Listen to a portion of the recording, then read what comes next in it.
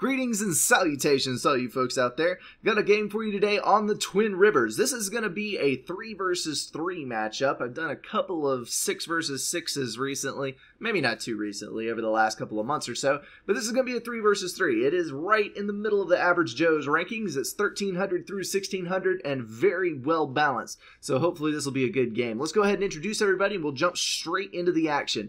This is, uh, right, left, top, bottom. I guess it doesn't really matter on this map. Let's go with the right-hand team. We've got Orange. That is going to be Mech Sengoku. He's taking Seraphim. Then the other front player is Shep taking Cybran.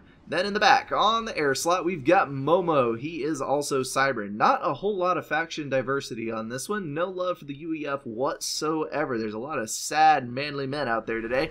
We've got Aeon in the other air slot. This is going to be Inquisitor for the left-hand team, or Southern. Michelia is going to pick up Seraphim, and then another Seraphim for SA in the brilliant blue. So, three Seraphims, two Cybrans, one Aeon like I said, this is going to be a slightly bland matchup unit wise, but hopefully we can get a little bit of extra strategy going on here. Hopefully these guys will work together. I hate it when we have a Twin Rivers where everybody kind of works in their own separate little corners and then one of them dies and the whole thing falls over because nobody can adapt and nobody's working together with each other. Um, right off the bat, I do see we have some early reclaim attempted here. We've got purple and orange. That is, got to get my name straight here. Shep and Mech. They are going to be pushing up towards front. We've got tank and scout for both of these guys. Exactly even matchup. Same three units sent to the same spot. Tanks both going to engage actively on each other, but this is going to be a win for yellow because he's also got his scout firing, whereas this one is on hold fire so that he cloaks. I don't think the cloak was worth losing that battle. And there's my pop-up. I really should have fixed that before I started this cast. Alright. that was extremely close. The engineer was able to finish reclaiming the tank, which was one shot shy of dying from the Mantis, but the Selen is still alive, which means that this engineer is going to die a horribly painful death. And blue is going to pick up the reclaim. I should say the lighter blue. That is SA. He's going to dip into that mass. So, the left-hand team is going to get the early reclaim advantage. You've got Michelio pulling in uh, 400 or so, not too much. It's a nice little boost, but this is not a super mass intensive map. Then we got pushing 1k for SA, who's also overflowing to his teammates that is going to help his air player get off the ground. We can see we've already got uh, two air factories online building the transport. Don't know why you're building the transport in the factory with less adjacency. That is a very power intensive item to build.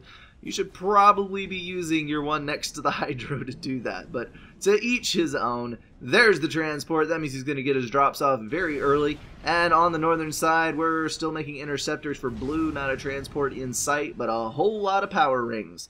Right now on the top of the board, we've got Shep pulling in 22 mass per tick. He is filling out nicely. Let's see, we are missing an expansion mexes right here that Shep already has. Nothing on these sides. So yeah, Shep was just a little more efficient on his expansion than the other guys were. That gap will close very, very soon. So we've got Mech pushing over to the left. Nice little run by with this tank and scout, but unfortunately not going to score a kill on that one. When you have a situation like this, you always want to uh, heal that mass extractor because if you start an upgrade on that damaged mass extractor, once the upgrade finishes, you will have to repair the mass extractor for the additional cost of the T2 instead of the T1. And this costs basically no mass. It would cost uh, 9 to 11 mass to fix that, whereas it's going to be a couple of hundred mass once you upgrade to the T2. So always good to keep your mass extractors healed up whenever you have the opportunity. Now on this island over here, we have a drop. Three engineers coming in for Inquisitor. He is going to be able to get that island no problemo. Actually, we don't know that it's an island or not. We have a dead end in the map right here. And since the name of the map is Twin Rivers, I think we can safely assume that the water traverses in this here direction in the diagonal, and this is probably a landmass up here, so I should probably not call these islands, but Inquisitor's going to grab this right-hand ambiguous landmass, and also got an engineer coming in from SA. He is not content with the three engineers already over there. He's going to throw down land factories himself. And then on the left side, we've got Michelio. He is going to throw down a land factory right there. But we do have the transport coming back, so I would be curious to see if Inquisitor is going to try a drop over there as well. Got a Jester moving in. Nice move from Momo. He is going to be able to snipe off that Engineer. No problem whatsoever. But the Interceptor advantage goes heavily to Inquisitor. So despite having a large amount of health for a T1 unit, that Jester is going to be shot down pretty promptly although it did succeed in its mission of snagging the engineer. And you'll have to pardon me, guys, I forgot to change my software for my hotkey setup on my mouse. So that means that I'm getting the network, not network, the console when I accidentally click my scroll wheel the wrong way. I will correct that in the next cast to be sure. For some reason, I, am not sure why. It's supposed to switch automatically, but apparently it did not in this one. This is a bad move right here. We've got a scout, so we know that he has all of these tanks on radar. You do not, repeat, do not want to advance your tanks into the face of a much larger group because that means you've just given a handy dandy mass donation to the other player. All of these beautiful little T1 tanks there, they're going to be sucked up for mass by the other team and turned into more tanks that will be hurled at your face. Although there is a point defense here, so that is a nice little touch. Michelio can sit fairly safe there for now, at least until the T1 units give way to T2. Well, if a lot of um, T1 artillery were to come in, that might be a different story, but they are not.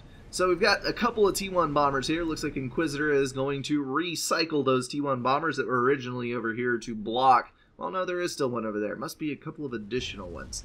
T1 bombers are always worth it to build. You can hurl them at the other players, and they will kill off engineers, build power, T1 power, anything and everything that they can get their grubby little mitts on, they will knock out of the game. You can see right there we've got, I think that was a radar. Yes, that was a radar, and two T1 engineers. Nice kill for that one. And then on this side we got an engineer kill. And uh, not a total waste, but somewhat of one. Alright. On the left-hand side, we do have a land factory going down for Inquisitor. Inquisitor's interceptors are slightly spread out here. I think he can still pull off a win, especially with that beautiful entry. No, ah, I thought he had the turn, but he turned the wrong way. Interceptors are actually a little bit hard to micro. I have not entirely mastered the art, but that was a beautiful split there. Inquisitor pushing four interceptors to the north to snag that transport as it was coming in. So that's going to be a drop denial for Momo. That's going to be nasty in a little while because Inquisitor now has both expansions. That's going to give him a huge map mass advantage over Momo. And when one air player has that big of an advantage over the other player, you're going to be in for a very bad time. The left side of the map's looking a bit stagnant, but on the right here, We've got an advance from Shep. Shep is going to bring an engineer up to build a radar, so he has some advance notice when things are coming his way. He does have the gun upgrade on his commander that's going to give him the extra range that he needs. Start throwing down overcharges, kill off that T1 point defense, and progress easily. He also has the stealth. I was wondering why the T1 point defense wasn't firing. That is a beautiful tool in the arsenal of the Cybran. You can stand outside the vision radius of T1 and T2 point defense and kill them from afar. A lot of people don't realize that. The uh, the attack range of the ACU with the gun upgrade is slightly bigger than the vision radius of the T2 point defense. So unless you have advanced units, the Cybran ACU can kill off a T2 firebase without ever taking any damage. Really cool thing that you can use it for. SA has gun upgrade as well, and he's going to have a slightly beefier commander even after one vet on the Cybercom. But you got to remember, Cybercom can stay in the fight um, as long as he can back up and regen a little. The regen is way stronger on the Cyber Commander. You can see 21 regen per tick versus 10 for SA on that unupgraded commander. or unvetted rather. Um, and he, so with double the regen, even though Cybran starts at a lower point after you know 45 seconds or a minute of combat, the Cybran ACU is going to come ahead of the Seraphim ACU, and this is not looking good at all. We've got a huge group of Mantis here, that is 35 or so Mantis closing in on the ACU, and that is exactly what you don't want to have happen because the Mantis are excellent for swarming ACUs. They deal a good amount of damage, they're fast and squirrely, they get under your feet, you can't move around, you can't escape, and then you end up exploding. That is always something that you want to avoid. Even in daily life, no one likes to explode. I mean, can you imagine just wake up on the wrong side of the bed one morning, roll off the bed, hit the floor, and explode? Also, your parents might be mad at you if you still live at home. I mean, I know they get on to you for cleaning, for not cleaning up your room, but the explosion, I'm sure, would not help matters. And SA, I think, is about to die. Oh, brilliant run by by Orange. That is a huge swarm of tanks moving on the right. Got two places where we got things going on here. Uh, SA is down to 400 health, single overcharge, and he's done. And boom! Degraded by the gun damage. This is not the world's biggest army, but it is definitely enough tanks to threaten the air player who has absolutely nothing in his base. He's going to try to throw down a T1 point defense. Hopefully that will come online. I don't think it will get finished before these tanks move in. That is a gunship producing. The Spectre will be a tremendous help in denying these tanks. Need to finish off that T1 point defense to prevent further incursion. I spy a Mercy that has been pinged. It is sighted. Shep is running for his life. One Mercy is not going to do it though. Two or three would have been a serious threat. Shep can soak the damage from one and still get out just fine. So these Thaams are going to move into the base here, killing off engineers. Build power is the critical resource at any stage of the game. Even though Inquisitor is pulling almost double the mass per tick. Actually, yes, he is pulling double the mass per tick from Momo. Um, if he doesn't have the build power to turn that into units, it doesn't do him a whole lot of good. Although at this stage of the game, he can turn that extra mass into mass extractor upgrade, so it's not as big a deal as it could be, but that does mean that Momo will have a chance to catch up on interceptor production, which he kind of needs to do because Inquisitor has very, very hard air control. Now, one thing that I do see here, this is kind of a waste of mass. Have a uh, T1 factory at this point in the game burning T1 scouts constantly that is five mass per tick. That is a fifth, a solid fifth of Momo's eco is going to this factory that is only building scouts that are just idly piling up in the back here, not doing a whole lot of good. Um, a T1 scout stream is an awesome tool versus Cybran in the later mid game when you actually have eco for that or in the late naval game when you need constant view of the oceans, T1 spam does have its place. T1 scout spam, rather.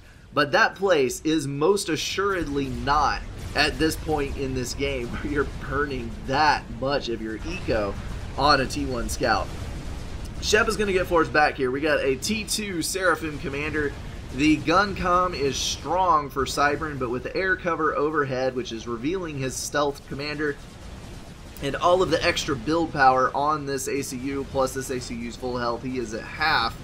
That is going to be a fairly simple win for the Seraphim T2 commander. He's going to be able to push Shep back quite easily with that T2 point defense. Shep may run up and overcharge. That does look like what is planned.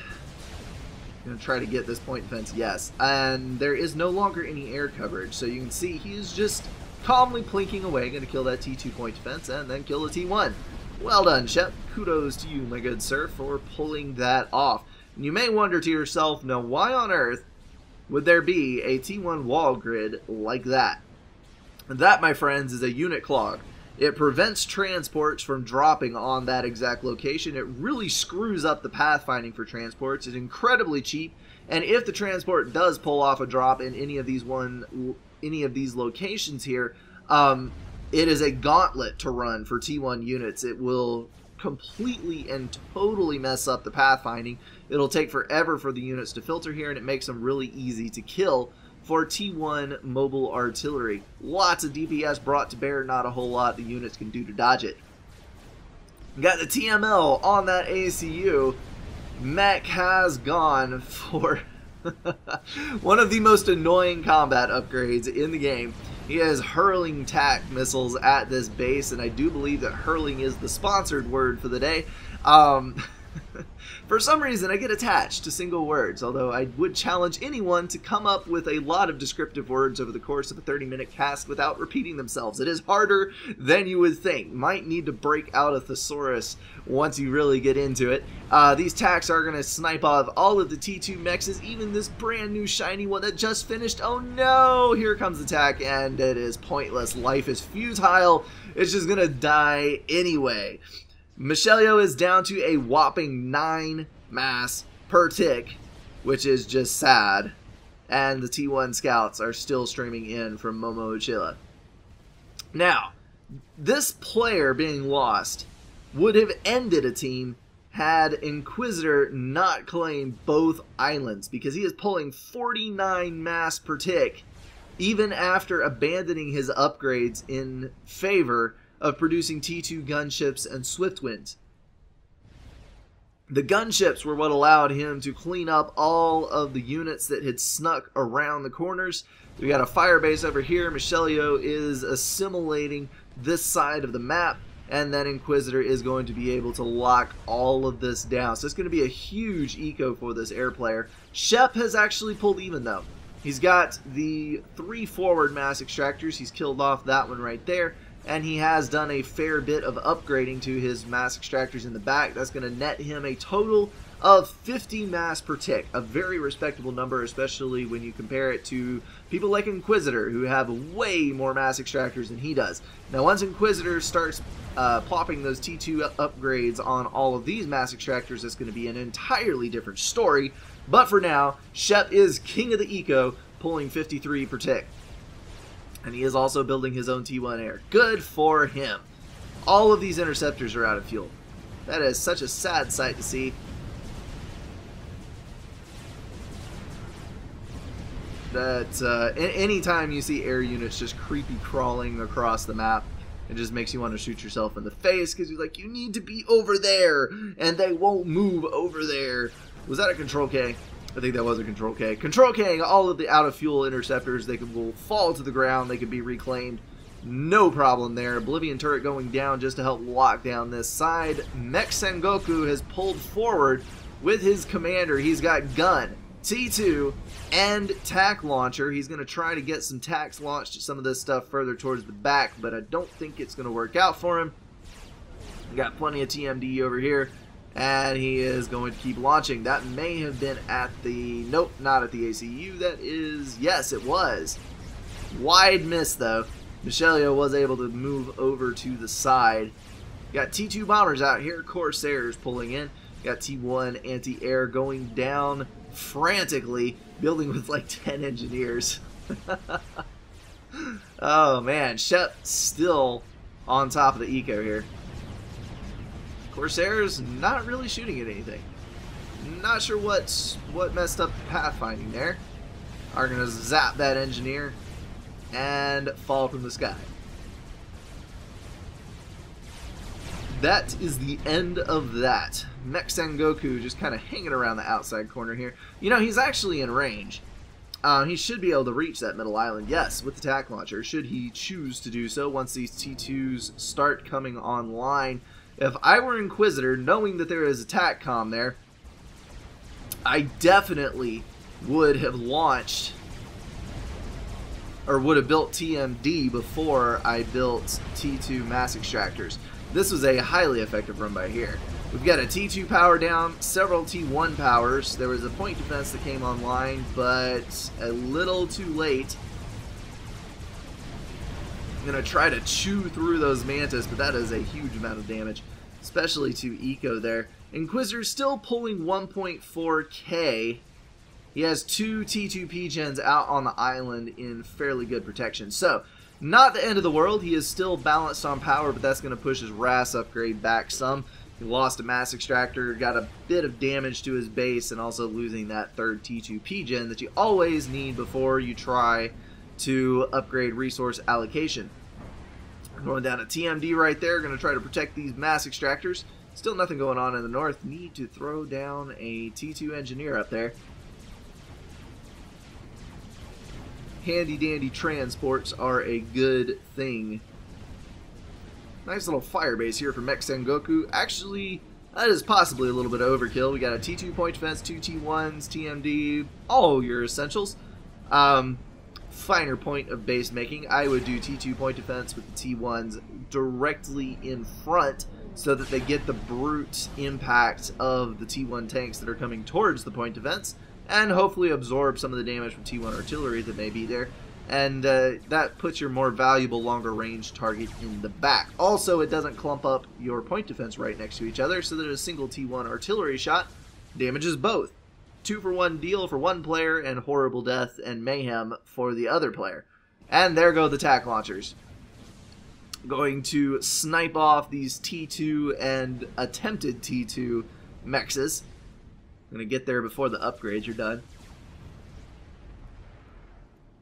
Best possible time to snipe a mass extractor is right at the 99% mark on construction because that means he's invested all of the mass that he's going to invest in to get the upgraded mass extractor and he gets none of the return. But it's really hard to pull that off because usually basic intel is not enough to know when that upgrade is going to be finished. But it is really painful. I'm sure all of us at one point or another have had that happen where we are so, so close and that mass extractor gets sniped. My, my least favorite is when I'm playing air and it happens with an early strat bomber and I have my baby mexes that I am nurturing and pouring my life force into and then all of a sudden along comes a mean and nasty strat bomber and snipes the thing at like 85 or 90 percent and I'm just, no! I used all of my mass from that uh, power generator that I was reclaiming and all of the mass from my storage, and I almost had this T3 mass extractor, and you killed it!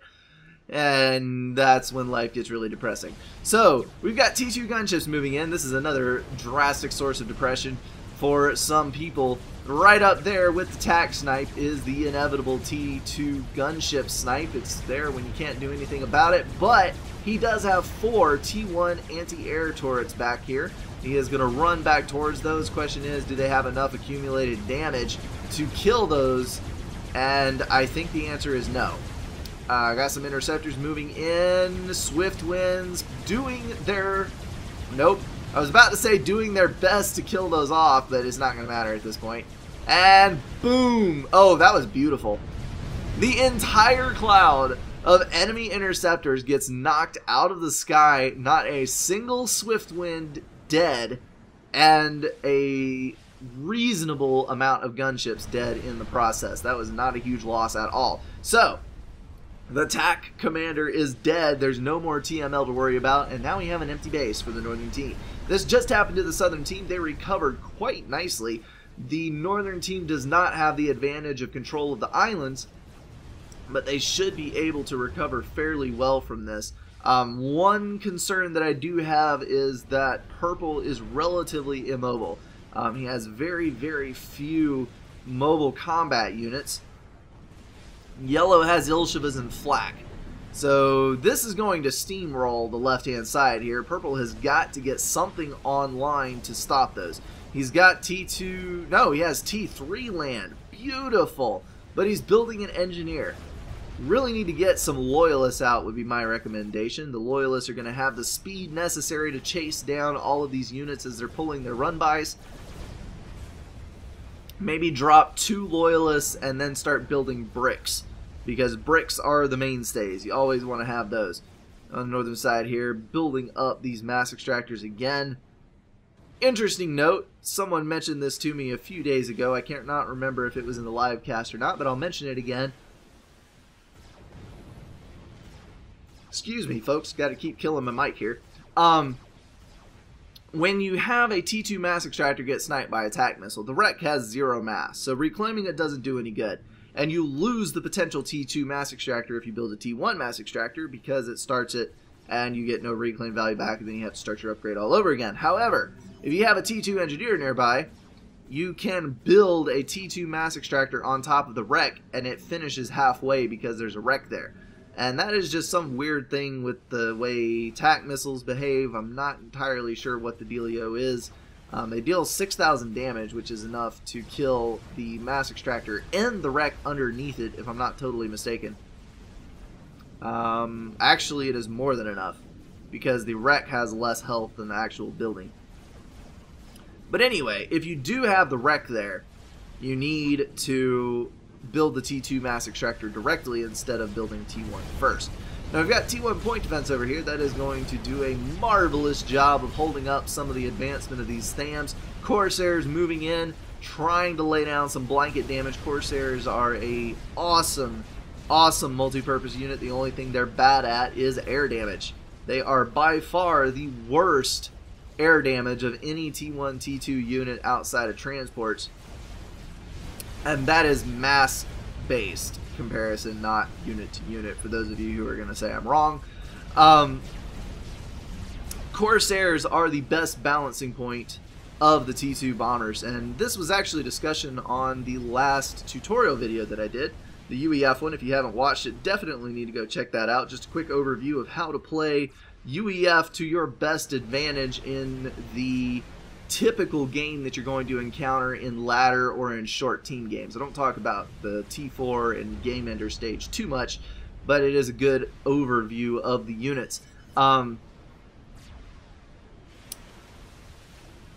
wow, mental lapse. Forgot where I was going with that. Oh well. Oh, oh yes, Corsairs. Um, the the UEF Janus is all about area damage. Is terrible, the worst T2 bomber at um, single target damage, and is relatively easily dodged. And then you've got the Seraphim bomber, which is awesome single target damage, ridiculously easy to dodge, but the worst AoE. And then the Corsair is kind of a balance between the two. It deals the majority of its damage to a single target, but it does have enough AoE that you can wipe out T1 and T2 units effectively with it, especially engineers for build power.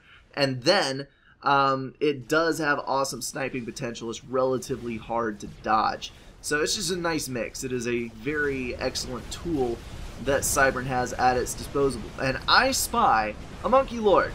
Been waiting for one of these to pop up. As soon as I saw that T3 engineer come out of the factory, I knew that very, very soon we were going to be seeing one of these. It has been pinged. There was a scout across it, so these guys are going to know exactly what is coming their way. As always, intel is key, and I spy mercies. Why are there mercies? I don't really know. Have not seen a good opportunity. Perhaps he had his ACU a little farther forward and the air player built some just in case, but those have not been able to be utilized. I love how they're technically landed, but they're just kind of floating. They're packed up, but just sitting above the ground. Almost like the floating reclaim that pops up on some maps. Looks kind of natural from an aerial view, but once you really zoom in and start looking at it, it is weird as all get out. So on this side, we've got mass extractors going down, we've got reclaim happening. Need to get some more engineers over here to suck up this mask more quickly. Inquisitor pulling 192 mass per tick, tons of T2 mass extractors and no T3 as of yet, but he's got a lot of his mass extractors capped. Plus, he's got these up here. So very, very solid eco from him. Shep is second highest, but he is 80 behind, and he is sacrificing some of his eco upgrade potential to build this Monkey Lord. So this is going to be the gambit of the Monkey Lord. Building one of these early T4 units is always, always a toss-up because if your T4 does not succeed, you've donated that mass to the other team, and the other team already has an eco advantage over you because they reinvested the mass instead of building a T4. So if you're going to build a T4, you got to make sure to micro it, got to make sure to kill something with it, and you do not want to lose it stupidly because if you do, you are handing a near irreversible advantage to the other team. That is plop. Here's 14k mass right in your base, pulling 14k mass out of thin air because I don't know what 81% of 17,000 is right off the top of my head. Somebody whip out a calculator and do that in the comments. I know there's somebody who will. All right, got loyalists moving down on the left-hand side, building three loyalists and no bricks, it appears. More loyalists on the way. Very nice. Check out the reclaim numbers here for a minute. We got 13k for Inquisitor, 9k for Shep, which is kind of surprising, and 10k for Momo, and then Michelio with 20k. These guys are kind of insignificant because they died fairly early in the game, so no major reclaim numbers there, especially since they were on the sides that were being advanced upon, which means you're not really claiming any reclaim fields. Rhinos coming in. That is the OP wall section for you there, folks. 4,000 health for 2 mass cost and a voice break. That is nothing for infinite HP. but the Rhinos do pack a pretty good punch. They're going to knock out four of those wall sections and then decide that they have eaten enough of a hole in the fence and they're going to push their way through. Got more ASF out for Inquisitor, actually, than for, or not Inquisitor, for Momo, than Inquisitor. But Inquisitor has a Swift Wind. The key here is going to be the first engagement, because if Momo can engage correctly and pull around the backside, he can pretty much kill off every single Swift Wind in the first turn or two, and then he only has the ASF to deal with. These swift winds just have such slower movement speed and larger turning radius than the ASF do. Maybe not larger turning radius, slower turning speed. That would be a more accurate wording of what I intended. So we've got Loyalists out. Still three. Just trying to see if one ran by. This run by, though, is doing very healthily. Rhinos packing far more DPS into their unit count than UEF does. Um, these T2 tanks on a one-to-one -one basis will demolish UEF, but on a mass-to-mass -mass basis, UEF wins. But these things lose to Obsidians and Ilshavohs, which is kind of the concern that they have at the moment. We do have a T3 tank here. That Othuum is going to head over to the right-hand side. And here comes the Monkey Lord. This is going to be a problem. We've got a Restorer, we've got a couple of T2 gunships, second Restorer. We've got a handful of Mercies, but those aren't going to do a whole lot of good considering the uh, considering that the Monkey Lord has its own anti-air. It's not super effective at knocking down um, Mercies, but it can knock down one or two before the Monkey Lord starts taking damage. Awesome ability to have. Very nice. So this is probably the most exposed T3 power generator that I've ever seen in my life. There are no point defense. There are a handful of T1 units, and there is a T2 shield. I would be going that way with my Monkey Lord. Because if you kill the T3 power generator, you're going to kill everything around it right here, and you're going to take all the power away from Michelio, which then means that even if he killed your Monkey Lord, he could not use your Monkey Lord because he wouldn't have the power to build anything, even though he has tons and tons of mass. Michelio is going to move over to the right-hand side here, try to take up residence with his old buddy Inquisitor, and see if those shields can protect him from the advance of the Monkey Lord. Restores trying to lay down some damage on that, but the slight air advantage that belongs to uh, Momo will be manipulated, and that is the end of damage to the Monkey Lord. That Restore is going to pull back. Alright, so Monkey Lord is now on the Rampage. Rampage! I hope everyone watches our... Um, I cannot talk. I hope everyone watches Archer, because Archer is an amazing show and it has infinite references for pretty much anything you want to talk about. So, yes, Monkey Lord is on a chemotherapy rampage, and there's a lot of T2 point defense. Holy cow. That is actually sapping the strength of this thing very, very quickly. There's the veterancy. Now it does not matter any longer. Going to rake those T2 point defense down with its laser. More yummy, yummy veterancy and it can pretty much just now stomp through that base. No problem, no challenge. Lots of mobile flak moving in. That is an awesome tool versus the Restorers, but here comes Mr. Strat Bomber. Pro level micro there. hover bombing for a complete miss. that is fantastic. Awesome. Strat Bomber going to pull around for another pass, but the Monkey Lord is not looking very healthy. Michelieu is going to close in, land that overcharge, and it is now a mass donation. But T3 power is down. A lot of mass is down. All of the point defense and build power is down. I think that Monkey Lord was worth it. Michelieu is down to 47 mass per tick. Inquisitor still sitting at 205, but Shep is rapidly catching up with 169 and 131 for Momo. Round out the teams, and it is roughly, roughly even slight advantage to the northern team, I think. Actually, I'm sure. Slight advantage to the northern team. Alrighty then, we've got Loyalists still pounding away here. These things are kind of hanging back with the Monkey Lord went forward. Gonna kill off that pesky SAM. Those are always annoying when you're trying to front your air so that uh, units in your possession do not take damage, but it's always shameful when a single SAM is able to damage 5 or 6 or 7 ASF and cost you an air fight. It is the worst thing ever. Strat Bombers three strat bombers on the southern side, possibly setting up for a snipe, but I don't think there is enough as of yet to actually pull one. Shep sitting inside three shields, and Momo sitting inside two. So you're going to need more than three strat bombers, buddy, to pull that off. Although he does have a fairly significant amount of restorers. Honestly, I would stop building restorers because there's a whole lot of mobile flak out on the field, and restorers are not going to get very far versus mobile flak. For those of you who still think the T3 gunships are overpowered, what?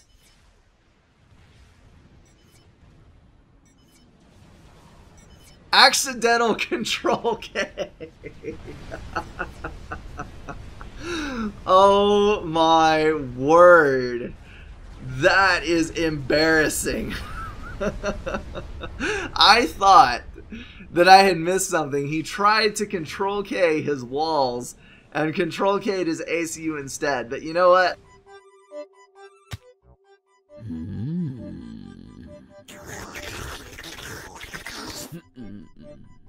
I hate to say it.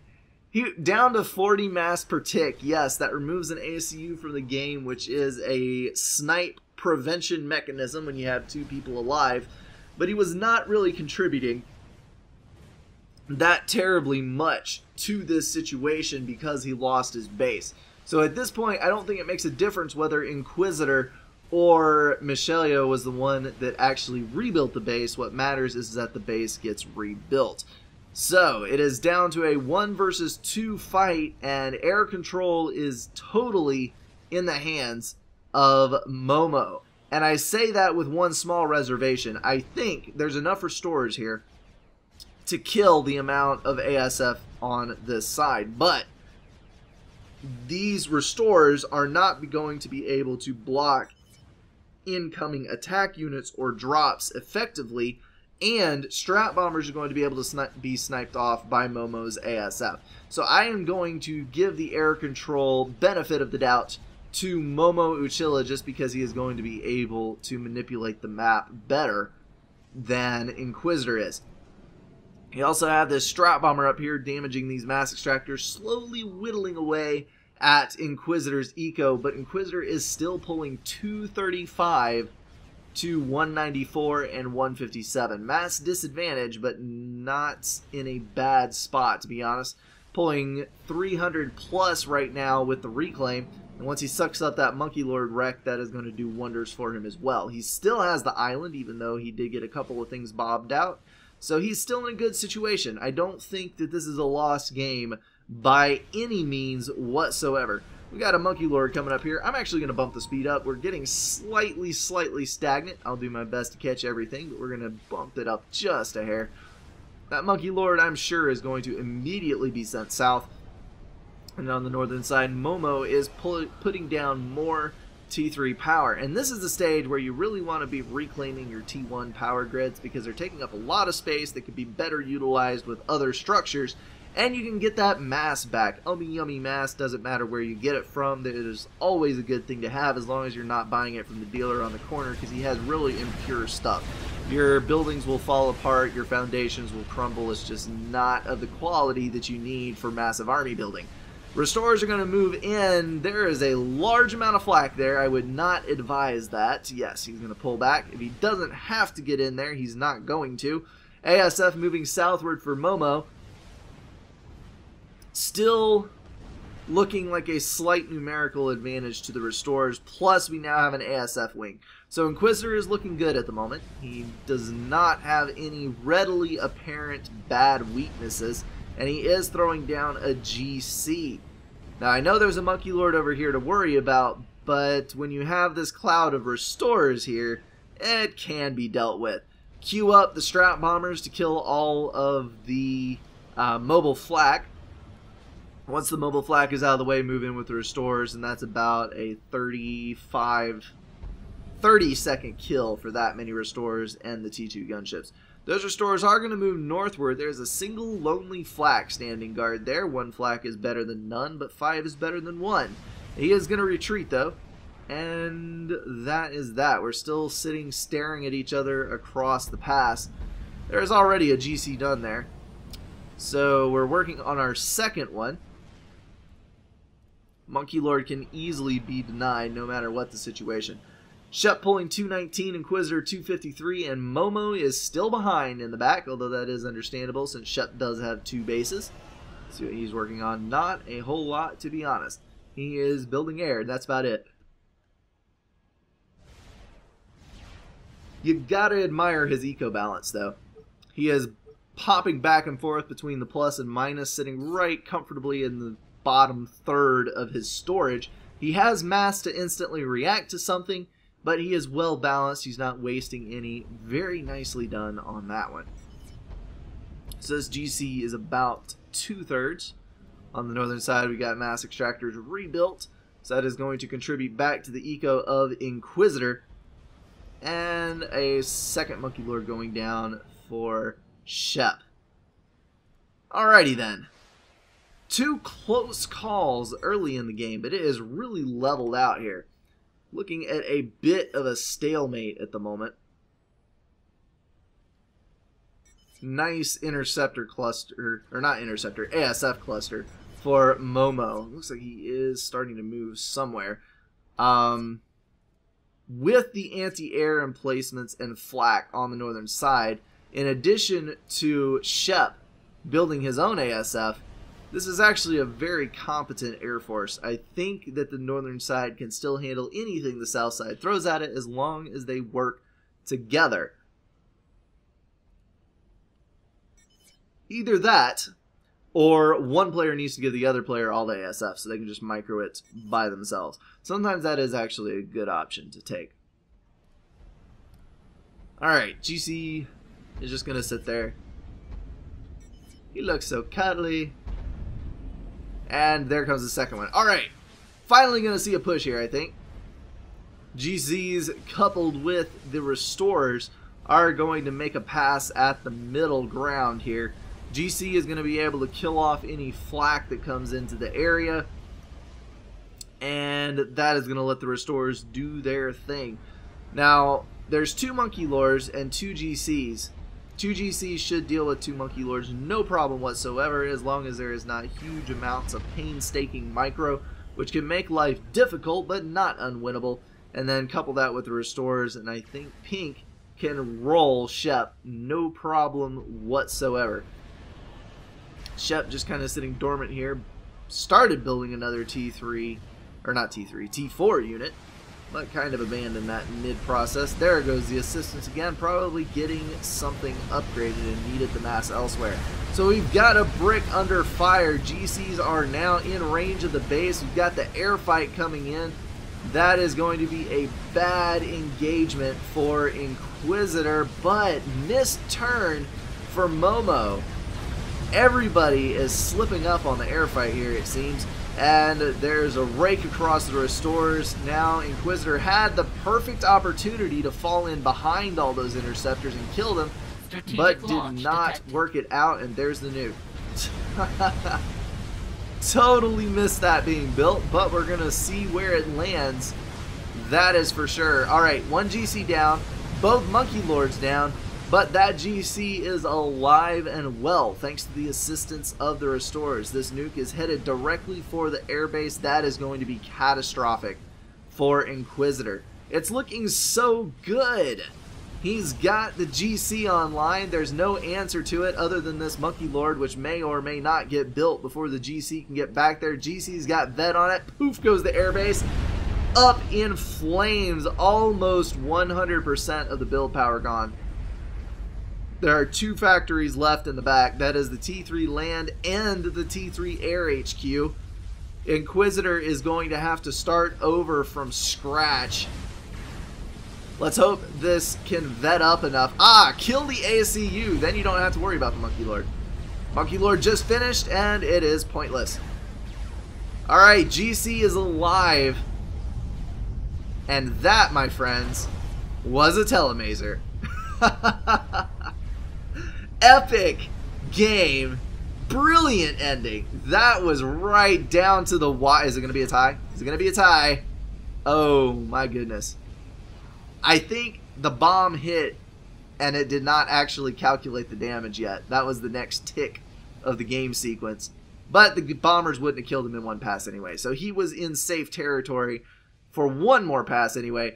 Excellently played by both sides. Couple of turnarounds there. I thought for sure the Southern team was going to fold when it came down to the land spam there. And then the kill on the Northern side had a little trouble dealing with it. Huge eco pumping out for Inquisitor, ah, he would have had it won. He had it won if not for that Telemazer.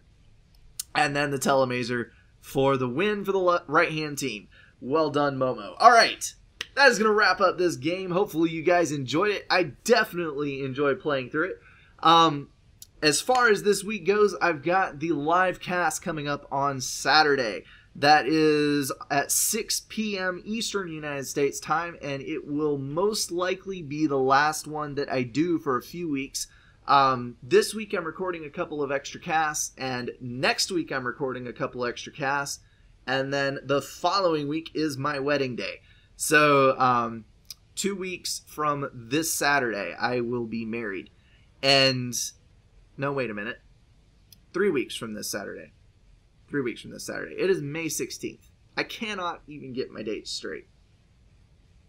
It is two Saturdays. Don't listen to me ramble. I know not of what I speak. Just know that a couple weeks out, I am getting married. So I'm going to get a backlog of casts up. I've already got one cast that I've done um, just to set on the back burner for YouTube, and it'll release while I'm gone. Hopefully, the content will stay consistent while I'm gone on my honeymoon and doing various and sundry other things, setting up house, etc.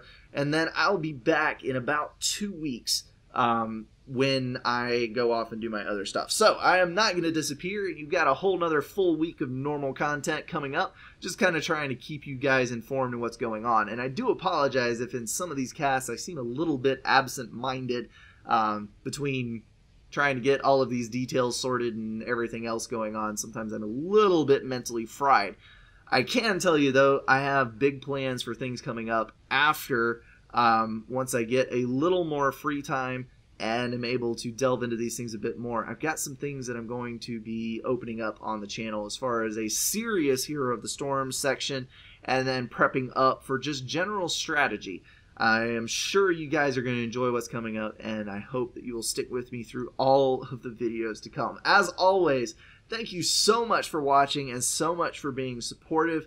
Additionally, one more note if you are a Patreon supporter, um, $5 and above, go check out the Patreon page or your email if you haven't checked it in a while. There is a reward tier now for anyone donating a few bucks at a time. Um, that will begin June 1st when I'm coming back from other stuffs. So if you want to claim your prize, participate in some of the things that I'm offering, you need to dig up some replays and have those ready for me. I'll be diving into that as soon as I get back from wedding things.